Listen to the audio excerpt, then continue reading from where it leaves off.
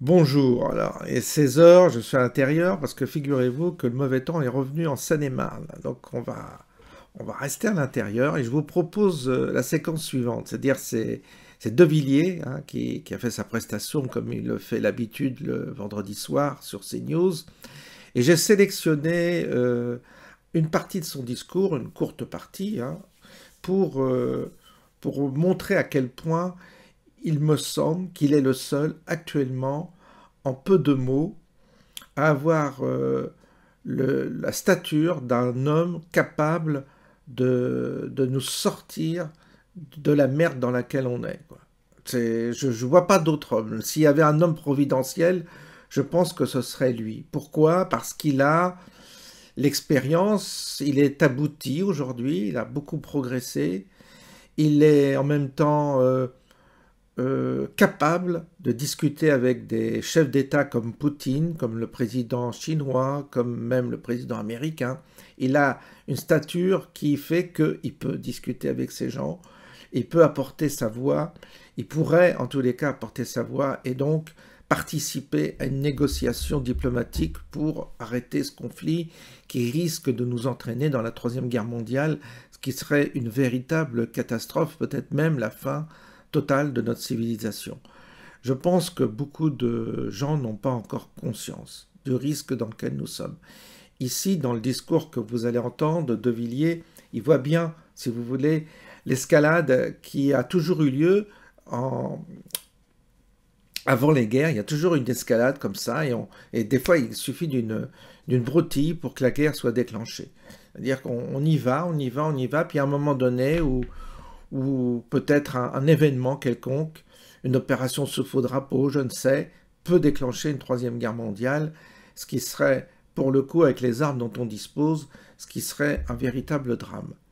Donc il faut évidemment se ranger derrière ceux qui sont contre la guerre, ça me paraît évident, se ranger contre ceux qui veulent sauver l'Europe, la France, et qui veulent nous épargner des milliers, voire des millions de morts.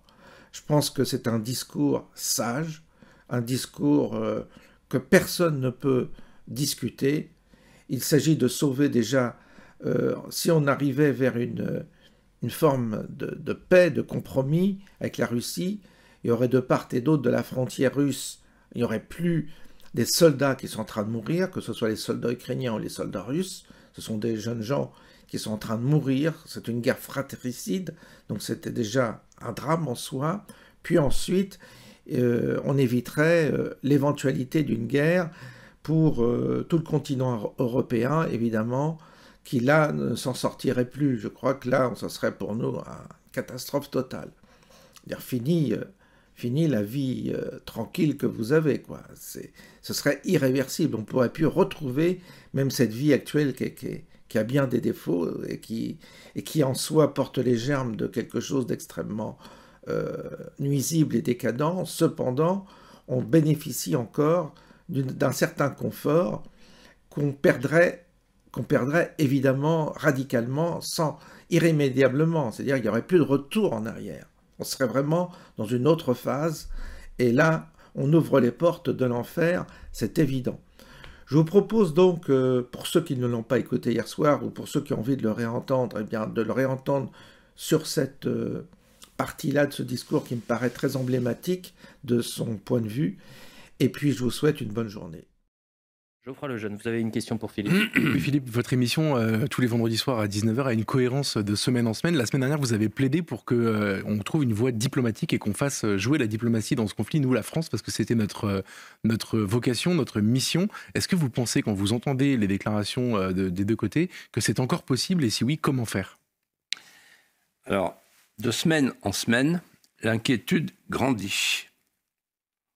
Et je voudrais expliquer pourquoi. En fait, euh, l'ours russe, c'est beau.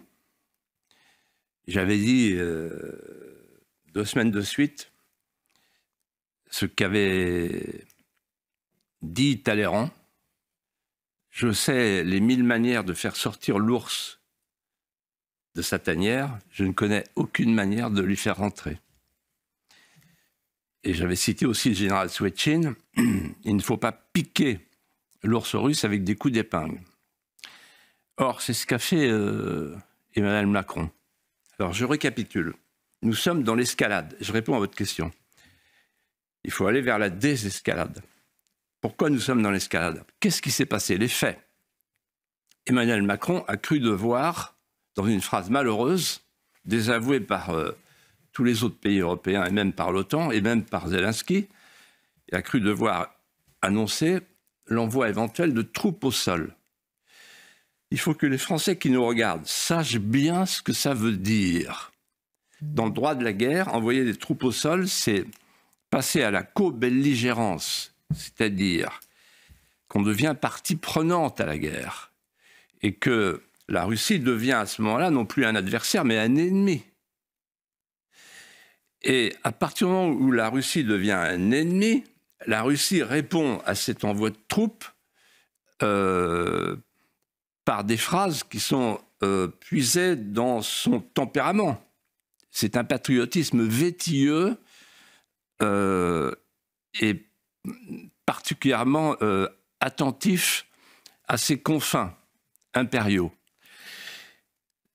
Alors, quand il a dit ça, Emmanuel Macron, il n'a pas fait attention, mais il a entraîné l'OTAN avec lui parce que il est dans l'OTAN, nous sommes dans l'OTAN. Et du coup, vu de Moscou, on a maintenant, c'est une phrase de, je pense, du vice-président de la Douma, mhm. qui correspond, hélas, à une réalité, c'est qu'il y a l'Occident collectif, comme ils disent à Moscou, et puis les BRICS, la Russie s'appuyant sur la Chine. Et, donc, euh, c'est comme ça qu'arrivent les guerres. C'est en fait, on les voit pas venir. C'est l'engrenage, l'engrenage des égaux. Et en l'occurrence, donc, Emmanuel Macron a fait une faute. Alors pourquoi?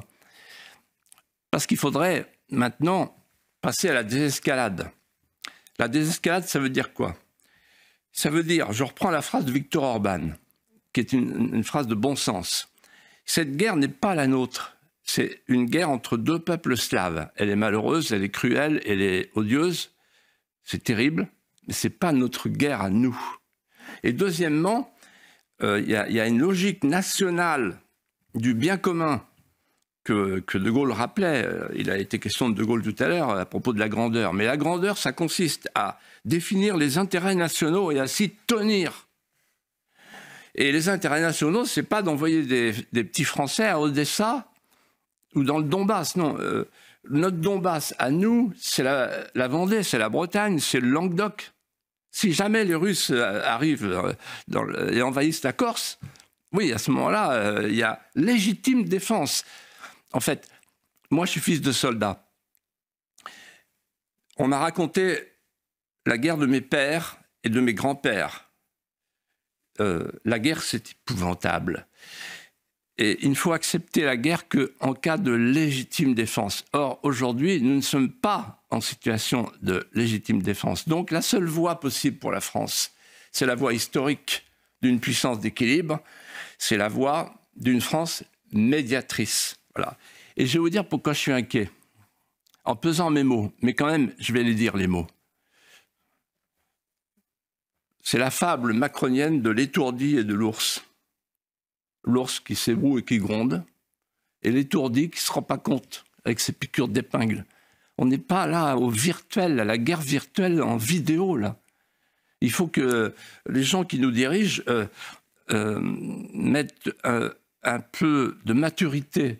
Ils sont immatures et irréfléchis. Et c'est pour ça que j'ai peur. J'ai l'impression que quand ils boxent, là, là, il est en train de se dire Oh, vas, tu vas. Non, mais euh, où est-on, là? C'est sérieux. Euh, quand on est président de la République, il faut avoir de la maturité, il faut avoir de la sagesse, il faut avoir de la prudence. Parce que quand vous provoquez celui qui va devenir votre adversaire, puis demain votre ennemi, il ne faut pas s'étonner ensuite si on se prend des palos sur la gueule. Voilà. Et donc, moi, je voudrais. Moi, je crois plus aux personnels politiques qui ont tous voté l'accord, etc. On donne de l'argent à l'Ukraine. Pendant ce temps-là, nos agriculteurs crèvent. Et pendant ce temps-là, on a un déficit qui nous ridiculise aux yeux du monde. Il faut que le peuple français se lève maintenant et dise ça suffit la guerre. On n'en veut pas de la guerre. On ne veut pas de votre guerre. On ne veut pas que nos enfants, nos petits-enfants aillent se faire tuer à Odessa. On n'en veut pas.